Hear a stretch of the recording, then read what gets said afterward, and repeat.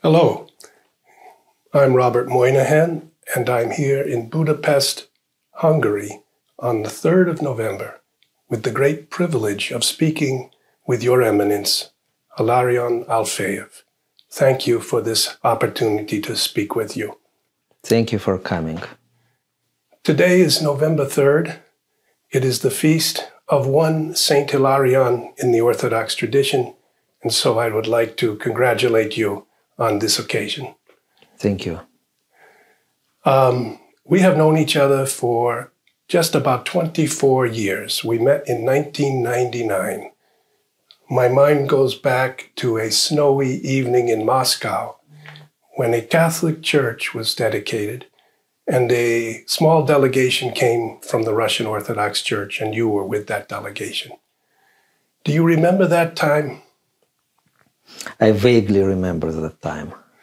So, over the years, we've collaborated together in different ways.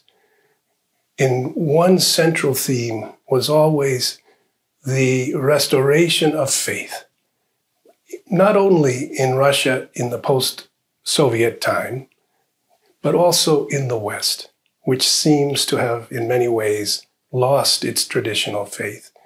So we worked together on concerts having to do with religious themes, the Passion of St. Matthew, the Christmas Oratorio, and some of the dialogues between Catholic bishops and Orthodox bishops.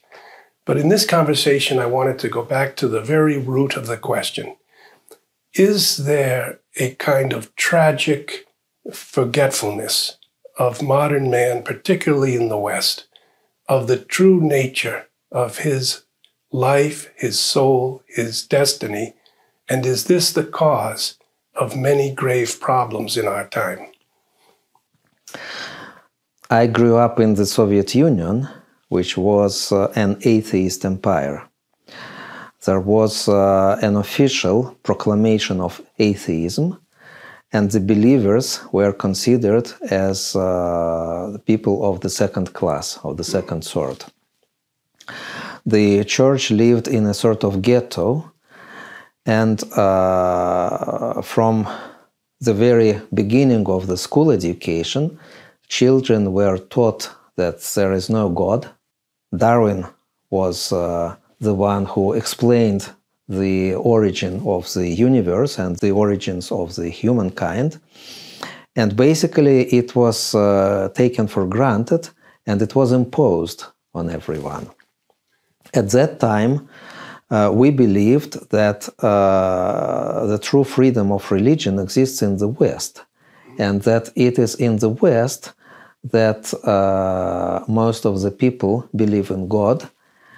And it is from the West that we received some of the forbidden literature, such as the Bible, the New Testament, the writings of the church fathers, the writings of the theologians of the Russian immigration, the literature produced by Russian religious philosophers. All of this uh, was either printed in samizdat or it came from the West. Mm.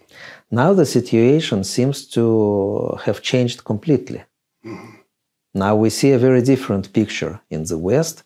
We see uh, empty churches, we see a decline of um, religion in uh, some countries which uh, until very recently were considered as uh, traditionally Christian, while in my country we see the resurgence of faith. Mm. On your, in your own personal life, can you just speak about your parents and how you passed through the threshold into faith, also in either either cooperation with them or perhaps even in some type of rebellion against them. I don't know the answer. It was my mother who converted to the Orthodox faith uh, after a long search for truth. She was reading um, Russian religious philosophy. She was reading uh, Plotinus. She was uh, reading some uh, Indian books. And then she came to the Orthodox faith. and I was baptized when I was uh, 11 years old. And from that very moment, I became very attracted by uh, the church, by the church service especially. And uh, when I turned 15, I think uh, it was obvious for me that uh, it is the church that I want to dedicate my life to. I see. Now, I did come across a book that your mother wrote, Pilgrimage to Jivari. That and that deeply moved me. I thought this is a beautiful book. And it describes a mother and her son visiting a monastery in Georgia, and I believe it's a true account of a trip you made. When was that trip? What happened on that trip? And can you just give some memory of what went through? You were about 15 years old. What went through your mind and heart on that trip? It was one of the turning points uh, in my personal spiritual development because uh, it was exactly the time when I started to consider uh, monastic life. Mm. And it was very important for me to encounter uh, living monks. Uh, in the Russian Orthodox Church, at that time, there were only five male monasteries for the entire Russian Orthodox Church.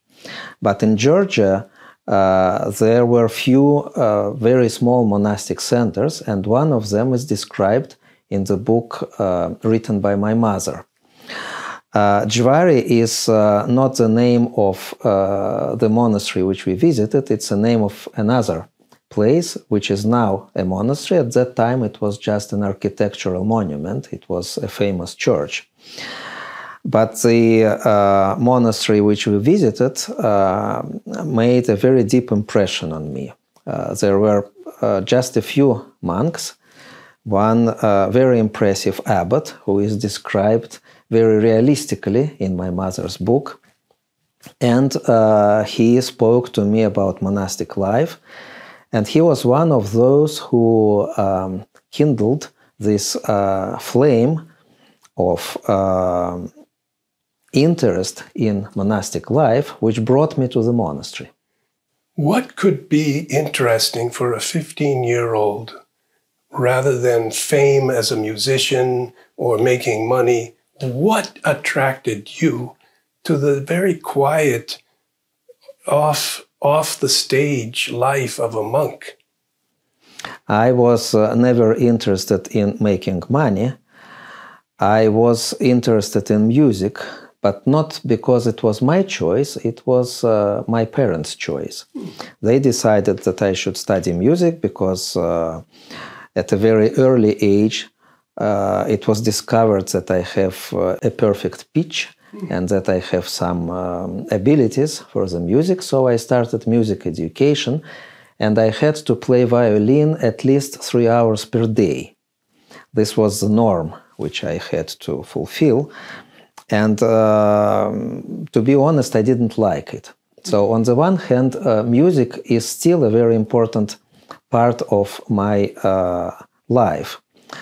Uh, and it was the, uh, so to speak, the constitutive uh, element of my childhood and youth. Three hours a day. Three hours a day. It's only uh, practicing violin, but I also had to learn music. I had to listen to music. I had to study um, uh, works of different composers. And from the age of um, 11 or 12, I started lessons of composition with a professional composer. So uh, the original intention was that I should become either a violinist uh, or a composer. But uh, at the age of 15, as I said, I became more and more attractive by the church. And I realized that this is my life, not, me, not the music. But what, what, what was the precise thing that attracted you? I think it's the grace of God. I think it's uh, the vocation which uh, someone just uh, hears very strongly in his uh, conscience, in his heart. And uh, it came mostly uh, through the divine services, not so much through the reading, it came mostly through the participation in the divine services. It was the time when young people were not allowed in the altar. But there were a few exceptions, and I was one of uh, those exceptions which was made. And it was for me a very important step that I was allowed uh, in the altar. I became an altar boy, I became a reader in the church. I read the Psalms, I read the uh, Holy Scripture. And this uh, was a great experience for me. Well, just to make a full disclosure, in my own life, I was an altar boy in the Roman Catholic Church, even at the time of using Latin. So my memory goes back to that, and I have my memory of the first liturgy that I had the privilege to attend in the Eastern Rite in Russia, and this sense of, Lord, have mercy, if I recall Gospodin Palmilno.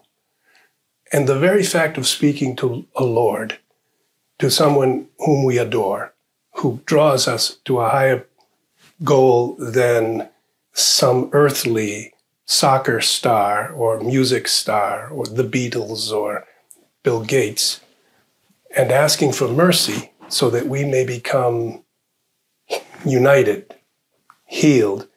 This is a rebellion against a humanistic worldview it's viewing eternity in some way. It's viewing the personal soul as on a long journey. In some way, I'm wondering was there a rebellion against this teaching in the Soviet time of materialism, humanism, Darwinism? Was this what attracted you? Obviously, there was a rebellion, but it wasn't out of rebellion that I became a monk finally, because uh, it was the uh, vocation and it was very clear to me that I uh, want to dedicate my life to God rather than to music. And the choice was between the two. There were no other options for me.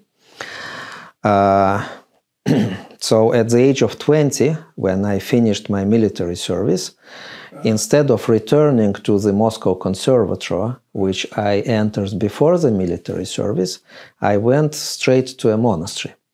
And this is how I uh, quit musical life and uh, began my monastic life. We did skip over some aspects of the 1980s. Uh, in that time in the conservatory, you formed a friendship with a man I later met who was a conductor at your church and also for the orchestra at your concerts, Alexei Puzakov. Can you speak of your friendship? Well, we were introduced to each other by my spiritual father, uh, who was a priest in the church, in which much later I would become uh, a rector of this church. And he knew me and he knew him, and we were of the same age. We studied in different schools, and he told me that uh, there is a boy whom you should meet and then he introduced us to each other. And Alexei was a very uh, talented person who uh, had no musical education, but who um, sang in the choir. And he became uh, a disciple of a very famous Moscow choir conductor. And through this discipleship, he learned the art of conducting, and he became by now uh, one of the leading choir conductors in Russia. Yeah. Not even by now, but quite a long ago. He was very young when he started to conduct big professional choirs. And in some way, your friendship was enriching to you too, I believe, it gave you the sense, even though you had become a monk, that you should continue in some way your composition and your your musical life?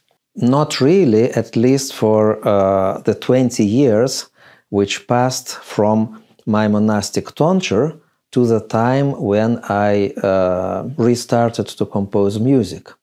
But when I restarted to compose music, it was Alexei who was the very first person to listen to what I composed. And I was in Vienna at that time, he was in Moscow. Mm-hmm. So once I would compose a piece, for example, one of the uh, parts of St. Matthew Passion, I would call him by phone. It was not uh, a mobile phone at that time, it was a landline. So I would call him and I would play this piece to him, and he would listen on the other end and give his comments. Well, we have just spoken of a period from about 1985, when you were nearly 20, to 2005 or 2006. 20 years passed. You entered religious life, you became a monk, you gave up the life of a violinist and a composer, and then you slowly, after becoming a priest and then even a bishop, you had this return to music. But during those 20 years, the Soviet Union came to an end. And the question arose what would the, be the role of the church in a post Soviet Russia? I'm interested in that question because in the West, we have a great debate. It, what is the nature of the Russian soul? What is the nature of religious faith in Russia? What is the connection between Russia post Soviet and pre Soviet? I wondered if you could reflect on that for a moment.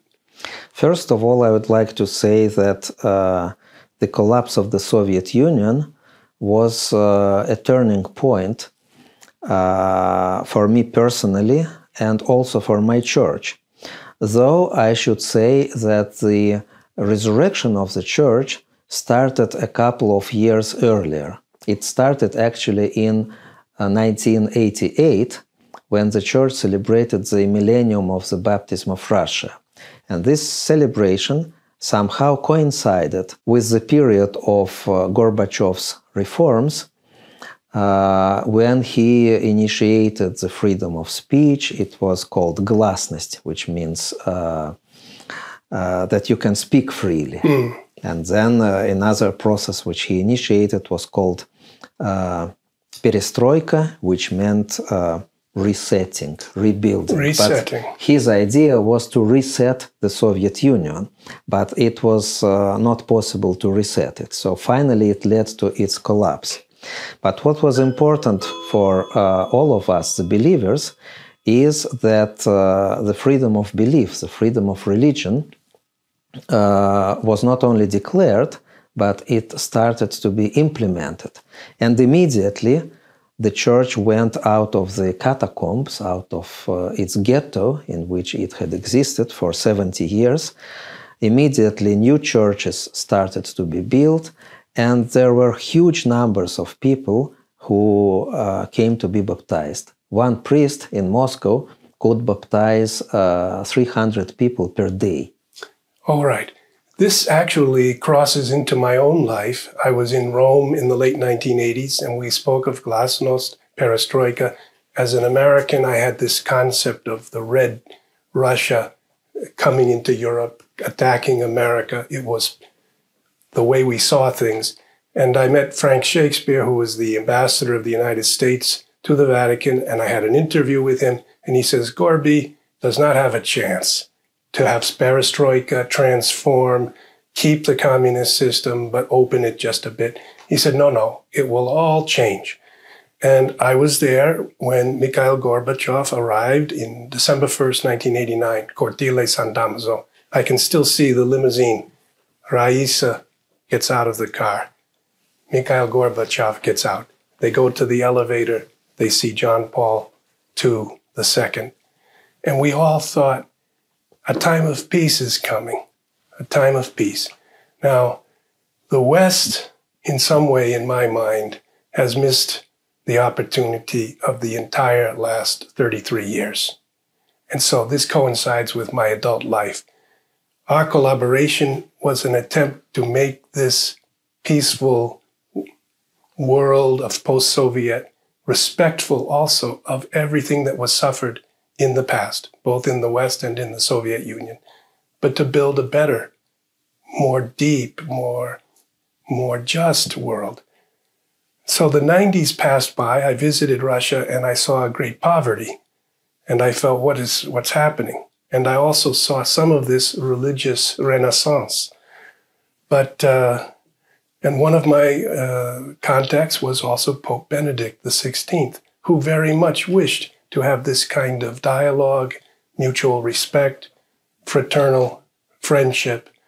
And uh, you watched this period pass by the 90s and into the 2000s, and uh, you went to Oxford, you saw the West. So, some reflection on this post Soviet time filled with hope, and yet some of the hopes were dashed. There are many people in Russia nowadays who believe that the collapse of the Soviet Union was a great tragedy. I do not share this belief. I think it was a providential event. I think it was a gift of God to all of us that the atheist empire collapsed. Not that the country was uh, split into different countries. And indeed, there were many painful experiences for uh, those people who lived in these newly created countries where many conflicts started. So it was a painful experience. But the very fact that the official atheism came to an end together with the collapse of the Soviet Empire was indeed a turning and crucial point for the church, for religion, for the freedom of religion, and this should not be underestimated. I do not share the nostalgia for the Soviet time, which is now experienced by uh, some people in Russia and which uh, is very often reflected in the uh, contemporary art, in the movies, for example, in TV programs. I still believe that it was a providential event which uh, gave us uh, many new opportunities. The question is, and you are right to pose this question, whether we used all these opportunities. And I believe that we uh, didn't. And I agree with you that uh, it was uh, the West which uh, was not uh, welcoming Russia into its um, uh, cultural, uh, spiritual, and political space. Yeah. It was not, there was a point, I remember this when uh, Yeltsin was uh, the president, and I think in the beginning of the presidency of Mr. Putin, there was a point when uh, there was a serious talk about Russia joining the EU, about Russia joining the NATO, yeah. but this never happened. And then uh, the political development went uh, in a very different direction. Yes, I do feel that the West, you say perhaps Russia in some ways didn't uh, exploit this time of post Soviet new freedom, but the West, I think, could have been far more respectful and I would say fraternal because we knew that you had a Western oriented uh, tradition in music and in art, not Western oriented, a profound human tradition which could be uh, mutually enriching for us. Culturally and intellectually, we are a part of the Western world. We are not Oriental country, though uh, our country is big enough to embrace both Europe and Asia. But uh, the Russian culture, as it is known in the West, or let's say as it is known outside of Russia. It is the culture which was formed in Russia. Uh, it was uh, the fruit of the Russian spirit, but it was uh, nurtured by uh, many Western influences. Yeah. And indeed, you can discover this in the Russian music, in the Russian literature, in Dostoevsky, in Tolstoy, in the Russian poetry and uh, in the Russian uh, visual arts. On one occasion, I had a meeting with Joaquín Navarro Valls, who was the spokesman for Pope John Paul II. And I said, What's the center? What's the central idea of his thought, his pontificate? He was Pope from 1978 to 2005. We were speaking right around the year 2000. And he said, It's the anthropological question. What is man? And he said he is very concerned that that was given a wrong answer, even if they desired to reach a right answer, the Soviets spoke of the Homo Sovieticus, who no longer has class distinctions and gives his life, in a sense, for the for the uh, peaceful evolution of a class-free society. But in the West, we were developing this now exasperated post-human, post-soul conception of man. And John Paul was saying it's turning into a culture of death, not a culture of life. And even today, we have the evolution of this into our reliance and our hope now in artificial intelligence without any conception of the eternal soul, the Logos of God, the adoration of the divine, the concept of the holy. This is gone.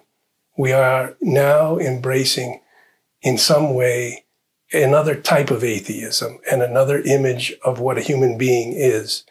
And in this process, I feel that the Russian faith and the faith that you have committed your life to, and the faith of Christianity in, in the West, even though it is so deeply conflicted now about many things, we have a profound crisis, is the central question of our time. And uh, I wonder if you could reflect on this. As I said, the collapse of the Soviet Union was uh, a providential event which led to many new opportunities. For me personally, uh, it was uh, the opportunity to be exposed uh, to the Western culture and to the Western education. I was uh, one of those uh, few people who were sent for theological studies abroad. And I happened to be in Oxford, in this very traditional and beautiful place of uh, university education. My teacher was uh, a very famous Orthodox theologian, Metropolitan Kallistos Ware, with whom we created a very deep and strong friendship until the very end of his life. And uh, he became for me uh, an example of a person who uh, combines very profound uh, scholarly background with uh, spiritual life. He was both a bishop, though not a diocesan bishop, he was a titular bishop, and he was um, a great scholar. What was also important for me in Oxford that uh, though I studied the Orthodox tradition and the theme of my uh, dissertation was uh, Saint Simeon, the new theologian, and the Orthodox tradition. As I started to write my thesis, I realized that I have to explain my tradition to those who don't belong to this tradition.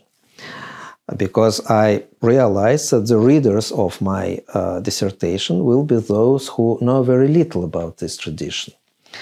And uh, Saint Simeon, the new theologian, was um, one of those um, Greek Orthodox saints who are very little known in the West. What were the years of his life? He was born uh, supposedly in 949 and died supposedly in uh, 1022. So there are different chronologies of his life. And that would be the time before the Great Schism in 1054. Yes, it was the time before the Great Schism, and he is known for, for his mystical writings. Something uh, similar, though very different from uh, Western mystics such as uh, San Juan de la Cruz. Uh, and in the scholarly literature, he was presented as a, as a kind of uh, enthusiast, as a mystic who was not rooted in the Orthodox tradition but almost rebelled against it, which was not true at all. And I decided that my task was to uh, establish his roots in the Orthodox tradition and to say what was his main sources of inspiration. And one of those uh, sources was obviously the New Testament. Another source was the divine worship because he was a monk, so he attended daily worship. And also, he was uh, nurtured by some uh, theologians, notably uh, Saint Gregory uh, Nazianzen, Saint Gregory the theologian, as we call him in the Orthodox tradition. So, this led me finally to my uh, second study on Saint Gregory. But what was important for me, as I say, is that I had to explain all this to um, the readers who do not belong to the Orthodox tradition. And so I had the privilege of looking at my tradition as it were from outside. And it became uh, for me important because then I used this approach in my other books, in my scholarly studies, and in my uh, missionary books, because I realized that uh, most of my readers, many of my readers, are those who, for various reasons, do not belong to my tradition. Okay, this is beautiful, excellent. You were in Oxford in what years? 1993 to 1995.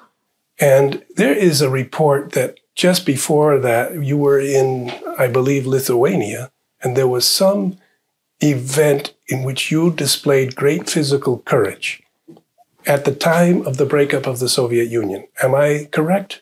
On the 13th of January 1991, the Soviet troops entered Lithuania. And this was the reaction to the proclamation of uh, the Lithuanian independence.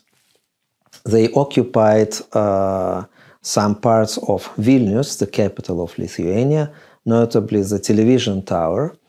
And uh, there were some protests, some people were killed. So it was a very brutal event. And I was at that time uh, in Kaunas, which is the second largest city in this small country. And I happened to know personally many of the Russian militaries who were uh, located there. Because I visited them, I visited military headquarters, I spoke to the soldiers, I spoke to the commanders, and I was told that uh, they will be mobilized in order to take the television tower in Kaunas, where I was uh, living and where I was dean of the Orthodox Cathedral. So I went on television and I appealed to the Russian soldiers and I said to them that if you receive the order to kill uh, innocent people, do not obey the order. Now, when you spoke those words, were you frightened? I was not frightened at that time, though it was quite risky, of course, because the Soviet Union was still there. Nobody could believe that it would collapse. And so uh, it was risky, but I had no um, choice. It was. Uh, well, you, you were 25 years old, approximately, 66 to 91. 24 at that time. You were 24 years old. You went on the radio. You gave a on talk television. on television. Did you consult with anyone before you made that appearance? I didn't. And actually, at that time, I had a very severe pneumonia. Oh, I had a high fever. Uh, I almost had no voice. But still, I produced something on television. would you say, would it be fair to say that you prayed before you did that? I did, of course. Did you receive strength from the I Holy did. Spirit? Yes, I did. But I didn't consult anyone, So- except for God, of course. Did you realize that you might be reprimanded or even perhaps arrested? Yes, and I was reprimanded. I had, after this, I had to change my residence and I had to live for several months in a clandestine place because there were many threats, So you went into hiding. so to speak. Yes. So we've got two data points that you were kind of rebelling against an ideological, spiritual system of atheism, which didn't give any horizon toward the eternal for human. It was Darwinian communism. And so you became a monk. Then you did not accept the ordinary process of human power calculation. And you said, don't kill. Yes. And you did it at great risk of your personal life. Yes, I did. So, in some way, I, I find in you the spirit of a, of a, I wouldn't say a rebel, but someone who is not, let's say, I use the word perhaps incorrectly, apparatchik. You are not like that. You are referring to the Spirit of God and seeking the right path in your life. I was also thinking about um, real people, not only those who might be killed as a result of this uh, further intervention of the Soviet troops, but also of those soldiers, as I said, whom I knew personally and uh, who uh, may have received orders to kill innocent people. So it was though I appealed to them from television, it was a personal appeal. And many of them later came to me uh, and uh, thanked me for this because it was very confusing. Well, I remember we visited Moscow with two of my friends in 19, no, 2001 in December after 9 11. And we met you and we met the now Patriarch Kirill and Igor Vizhanov was there. There were three Russians, you, Kirill, and Igor, Padre Igor Vizhanov. He was not yet a priest. And I was there, Daniel Schmidt, and Frank Shakespeare, the former American ambassador to the Vatican. And then uh, Metropolitan Kirill said, In this room where we are talking, we prevented a civil war in 1993, he said. And I didn't understand that.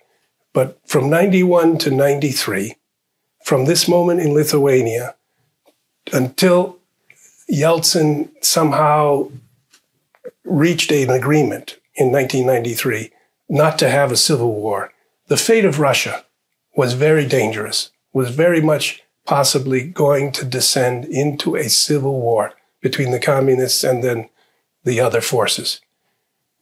And uh, I'm, do you feel there was something miraculous in the fact that you had no major civil war at all after the collapse of an enormous empire like the Soviet Union? I feel that uh, the church played an important role at that moment uh, in trying to bring peace between the uh, parties which seemed to uh, not have a chance to come to agreement. Yeah. So, And it was uh, the merit of the then Metropolitan Kirill, who was the right hand of uh, the then Patriarch Alexei II. It was Patriarch Alexei II who actually conducted these peace talks, but it was Metropolitan Kirill who was behind it. just one question who would have attended such a meeting? the representatives of the two parties. Just to explain to our viewers, it was the conflict between uh, the president and the parliament. And it was not just a verbal conflict, it was a conflict which uh, ended up in using tanks, and the building of the parliament was shot by tanks. Yes, and some people did die. So, from my perspective, it cannot be explained easily that you did not have a terrible civil war.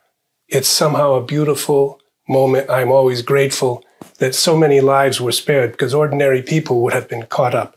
And it is always my position that ordinary people get caught up in something much bigger than themselves Yes. and they suffer the consequences. And I am opposed to this. But uh, also, I wanted to tell you in Rome, in St. Peter's Basilica, I did not know that there is a tomb of St. Gregory Nazianzus, the theologian, who, whose work you studied. And I visited there, I think, in 2016 with uh, the now nuncio in Ukraine, Monsignor Kulbokas. And he said to me, Do you realize Gregory the theologian, the great theologian for the East, is buried here? And St. John Chrysostom, he took me, and I said, Actually, I did not know. I had been in Rome for many years. And then he turns and he says, Here also is the tomb of Josaphat, St. Josaphat, who died in the early 1600s because he was trying to make some reconciliation between those going over to Rome and those who were staying Orthodox.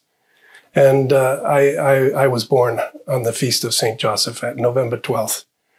So I've always felt that we must do something to overcome these centuries old divisions in our own time, taking the model really of those meetings in 1993 when there could have been hundreds of thousands of deaths of a civil war and they just made an agreement and stopped. But now, this other question of the human soul.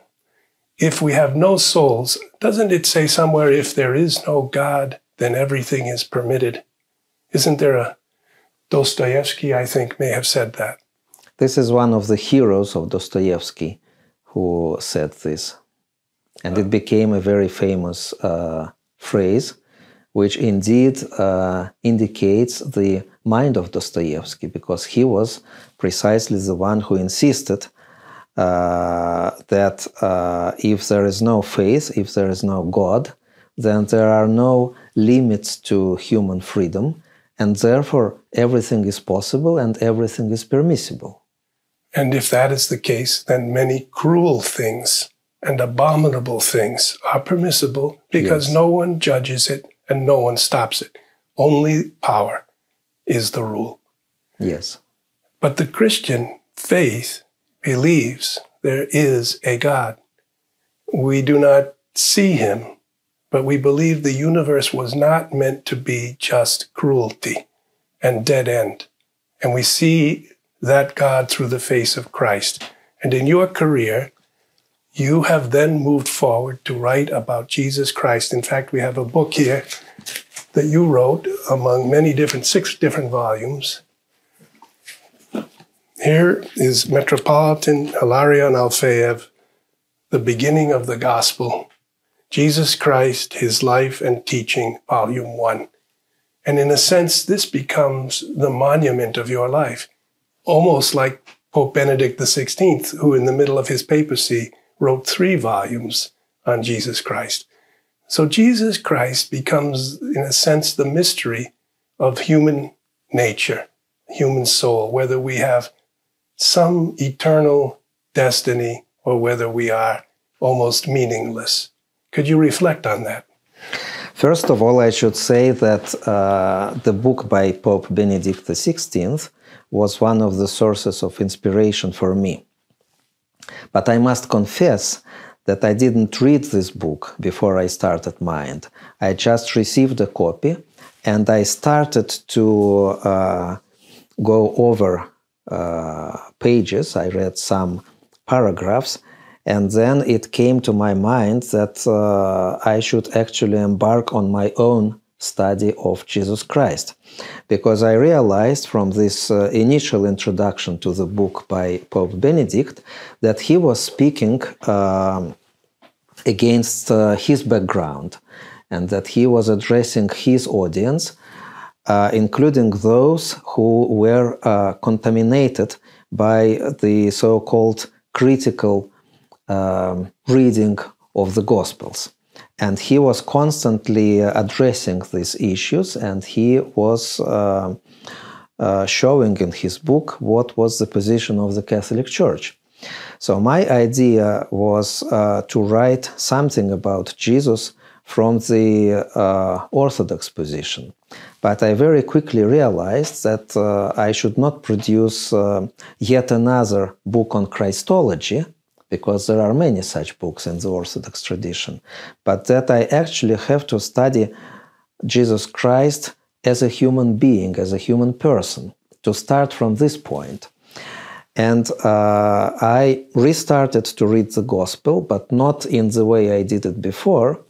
But I started to compare all, all the Gospel accounts of a particular episode I started to read a lot of scholarly literature on the New Testament, which I didn't do before, because before I was specializing in patristic studies. And here I realized that there is a vast uh, field of the New Testament studies. So I embarked on reading uh, these books and articles about Jesus Christ.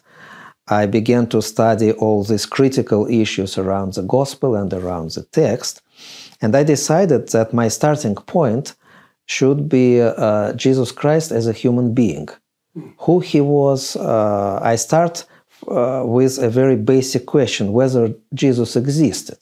Because in the Soviet time, many people believed that uh, Jesus didn't exist at all. But can you confirm? And in the uh, Did, did he exist? in the 1930s, for example, it was almost the official position Yeah. that Jesus Christ didn't exist, that it was that he was a literary invention, and I uh, prove in my book that he indeed did exist because uh, there is a lot of evidence about this, and uh, probably more than any other hero of uh, ancient history uh, he is uh, known through uh, the existing evidence. Then I start to discuss what sort of evidence do we have, uh, what are the Gospels, why there are four Gospels and not more, what happened to the apocryphal Gospels. So I discuss all these uh, issues related to Jesus Christ. And I begin with uh, stating that uh, Jesus Christ was the most famous person in the human history. And then I prove it by uh, different facts uh, from his life and from our history. And I also say that uh, in order to understand the Gospels and in order to understand the story of Jesus Christ, we have to use two keys. It's like a safe box which is locked with two keys, and you need the two to open it. The first key is to realize that he was a human being, that he was a real man, uh, not different from us in any way, except for the fact that he did not have sin. Otherwise, he was a real human being. So his suffering was real, his emotions were real.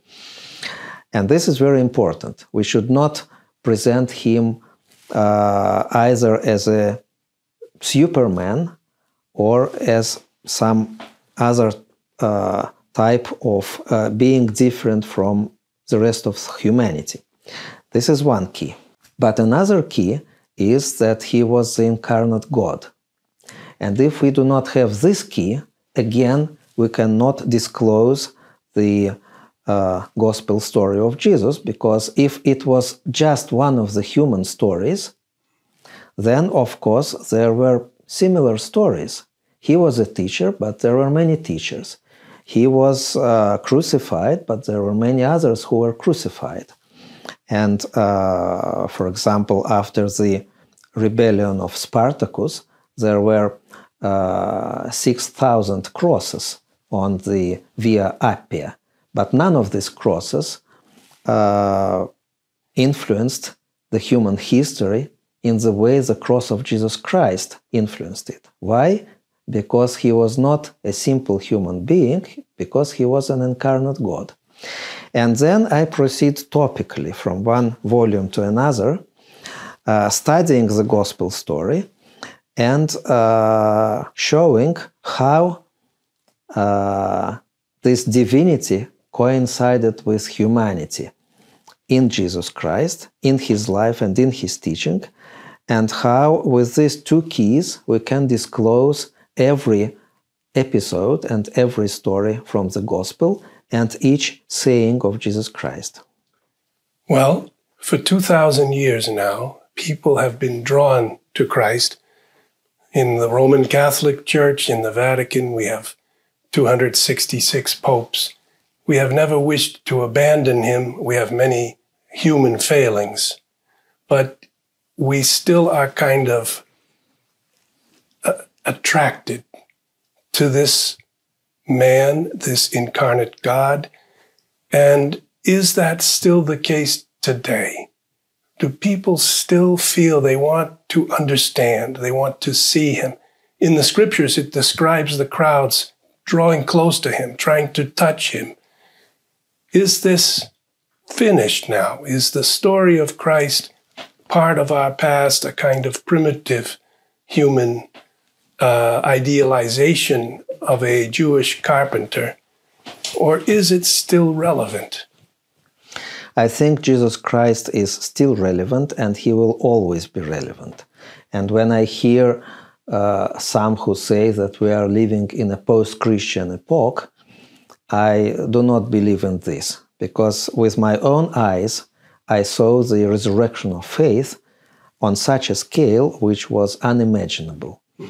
As I calculated once, and it became uh, a quote, then uh, we uh, built, we opened about a thousand new churches per year, which means about three new churches per day in the Russian Orthodox Church. And I include here not only Russia, but other countries which are under the uh, spiritual jurisdiction of the Russian Orthodox Church. In Russia proper, I think we built uh, two churches per day for the period of 30 years. How can you explain this? It was not uh, the orders coming from the political power. It was not due to the influence of some important speakers. It was Jesus Christ himself who decided to intervene and who decided to reveal himself to my generation. And this is what is uh, most important for me in the whole experience of my life. And this is why I believe also the collapse of the Soviet Union was so important, because it paved the way to Christ, and Christ came to my people and to my nation. Yes. We are in a secular humanistic society, they say. Secular means not sacred. Secular means inside of time, uh, not oriented toward eternity. Secular means everything horizontal, making money, making technology, no thought of God, no thought of anything mystical or transcendent. Secular, humanistic, no thought of divine, only man. This is in a way our prison. We cannot escape it. It's our psychological, intellectual prison. We conceive of everything as secular and humanist. We don't have the concept of the sacred and the divine. Nothing is sacred to us. This is our tragedy. What do you think of our problem? I think if you had an experience similar to mine, living in an atheist country where religion was practically forbidden, you would probably have a very different attitude to religion now. I am not speaking about you personally, I am speaking about you uh, as representative, let's say, of uh, Western world and of the culture which you just described. You really need to become very thirsty in order to appreciate the taste of water. If you are not thirsty, it's just water, you don't care. But if you become very thirsty, then uh, water comes uh, as uh, salvation. It comes as something most important in your life. And uh, this is the same with faith. When it is uh, given to you, when it is taken for granted, people don't care. I see that, for example, many people who uh, lived in Russia, they just didn't care about the church. But when they are forced to immigrate for one reason or another, they start to look for their roots and they discover one of our churches here in the West and they start to go to church because uh, they become thirsty for this uh, spirit, for spirituality, for religion, for God. We have a lot of talk today about artificial intelligence. It's as if we think this will be a God. This will give us the key to our heart rate, our mind waves, our desires, our fears, and it will kind of give us instructions, perhaps. It doesn't speak of a soul. It doesn't speak of being a person with an eternal dimension. It doesn't speak of spiritual intelligence or wisdom? Are you concerned that a different type of scientific atheism, we might call it, is emerging in the formerly Christian West? Yes, I am concerned about this, and um, I believe that there is nothing which could replace God, even though uh, on many occasions uh, people and political powers tried to find a supplement, like uh, in the time of the French Revolution, for example, or of the Russian Revolution. Uh, if uh, God is taken out of the human life, there is an empty space. And it has to be filled by something or someone. But it is not possible to uh, satisfy the human thirst for truth, for uh, God, for spiritual life by any uh, such things as uh, the artificial intelligence or as some sort of ideology. And I believe that uh, God Himself will continue to fight for human souls. And this is uh, the main source of my hope. I saw how Jesus Christ came to uh, my people. And you know that there is a famous painting by the Russian painter Alexander Ivanov, the uh, coming of Christ to people. And it depicts uh, a group of people who are centered um, around uh, John the Baptist. He is baptizing them. And uh, then they see that Jesus Christ is coming from afar. So his figure is small. You see mostly those figures who are depicted uh, uh, closer to the viewer. But it's uh, a great symbol to me. It's a symbol of what happened to uh, my people. And previously it happened to many other people. And I would like to add to this that when we speak about the West, we also have to make some exceptions. For example, I now live in Hungary, and it's a Christian country. Uh, it doesn't mean that everyone goes to the church here, but there are still many believers. And what is important for me is that the uh, current Hungarian government uh, pays attention to the churches, to religion, to spirituality. They support the churches. And uh, very recently, for example, uh, there was uh, the feast of Saint Stephen of Hungary, the, the first Christian king of Hungary, the baptizer of this country. And uh, traditionally, there are uh, fireworks on this day. What happened uh, this August, the fireworks ended up with a huge cross being placed uh, on the sky. Mm. And it was the Hungarian government which uh, not only didn't prevent this, but I think they initiated this. As I was watching this, I was asking myself whether it would be possible in any other European country or any other European city. And your, your conclusion? And my conclusion was that uh, it wouldn't be possible. Well, we are in a very interesting moment in history. It's 2023. We, uh, we have to end this conversation soon, but I wanted to just ask a couple more questions. We are being told by a number of global leaders that we will have a great reset, so called, in human economy, in human global trade, in property, including perhaps the elimination of property the phrase is, you will own nothing, but you will be happy. This has been stated publicly by people involved in the World Economic Forum. And in this process, we are wondering are we in the face of a historic transition from one form of economy? Maybe we will even regard it as primitive to some type of computer controlled global economy, but an economy that may do without God, do without Christ, do without the human soul. This 2023, and they've been speaking of this reset for years now, saying it will occur by 2030. Do you think that we should keep God and keep Christ at the center of our human adventure, or should we go with this new technology?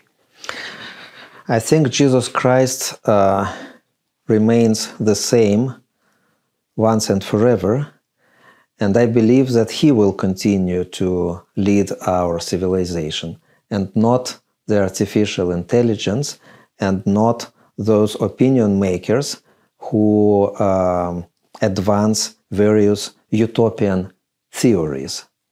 I was a witness of how one utopian theory um, collapsed, how it didn't work in the human life, because they also had the idea that uh, the private property should be abandoned, that everyone should use uh, whatever is available for everyone. And uh, it uh, resulted with repressions, it resulted with uh, millions of uh, innocent people being killed for the sake of this utopian goal. So uh, when I hear about new utopian goals, such as the one you mentioned, I uh, believe that we, we have already seen this. And if uh, some people in the West have not seen this, uh, this is unfortunate. All right, then you can be a witness to something and be a, someone warning the West of the direction we are taking. Yes. You, over the years, as the uh, the head of the foreign external relations department of the Russian Orthodox Church, you visited Rome. You got to know Pope Benedict XVI and Pope Francis. Can you reflect just for one moment on these experiences to meet the head of the Catholic Church as an Orthodox bishop? I met uh, Pope Benedict six times, and I met Pope Francis uh, 11 or 12 times. And I am mentioning only private audiences, uh, not various other encounters. So I can say that I know both of them personally, and I uh, admired a great deal Pope Benedict XVI for his um, achievements and also for his scholarly work. For me, he was somewhat similar to my Oxford teacher, Metropolitan Kallistos, who combined the scholarly work with um, ecclesial uh, work, though, of course, Metropolitan Kallistos was not uh, a pope and was not even a diocesan bishop. So he was more of a scholar than of a pastor, while uh, Pope Benedict uh, became the head of the Catholic Church. Whether he was uh, successful in his role or not, it's not uh, my business, it's the business of the Catholic Church. But my personal relations with him were always uh, very good, very cordial. He actually endorsed uh, this book. He was um, able to read not all six volumes, but uh, the first and the second volumes. And uh, I also met him uh, a couple of times uh, after he retired. And this, these meetings were great experiences. Uh, with Pope Francis, of course, we formed friendship from the very beginning of his pontificate because I attended his enthronement and I met him for the first time on the following day. And to be honest, I was thinking that uh, I will have to explain to him the history of the relations between the Catholic Church and the Russian Orthodox Church, more or less uh, from the scratch. I was thinking that uh, a man who spent most of his life in Argentine, who was never exposed to any Orthodox Catholic official conversations, would not know much about our agenda. And I was quite surprised and astonished by the fact that from the very beginning he exhibited a great knowledge not only of the Orthodox tradition, but also of the details of um, our bilateral relations. Indeed, he had collaborators, he may have had someone who prepared him for this meeting, though I believe that uh, uh, when a meeting takes place on the second day after your enthronement, you don't have much time to do a scholarly work uh, to prepare for such a meeting. So I believe that he knew most of these things already before. And as we continued our conversations over the years, I discovered more and more his uh, appreciation of the Orthodox tradition, and I was uh, very happy to be an instrument uh, in bringing together uh, Pope Francis and Patriarch Kirill, mm-hmm. which was the first uh, ever meeting in the history of our churches when the Pope of Rome and the Patriarch of Moscow met personally. Okay, then finally, given this, wouldn't it be in some way something we could hope for that the relations between the Orthodox world, which are internally now also troubled in some places, but between the Orthodox world and the Catholic world, after nearly 1,000 years of division since 1054, that we could overcome this and at least work together on the projects which in our time are so important as we face great challenges. Do you think this is a goal that we should work toward? After more than 20 years of being involved directly in the Orthodox Catholic official dialogues on various levels, I can tell you frankly that I am very pessimistic about the results and I do not expect any great breakthroughs in this field. Which does not mean that we as Christians and as those Christians who belong to the traditional side of Christianity, as those Christians who still believe in the uh, apostolic tradition, in the reality of uh, the presence of Jesus Christ in the Eucharistic gifts, in the sacraments, in the church, that we have much in common and that we can do many common projects. This is my belief, and this is what we did also with your help and with your participation. And I would like to use this opportunity uh, to thank you for many years of fruitful friendship and cooperation. Thank you, Your Eminence.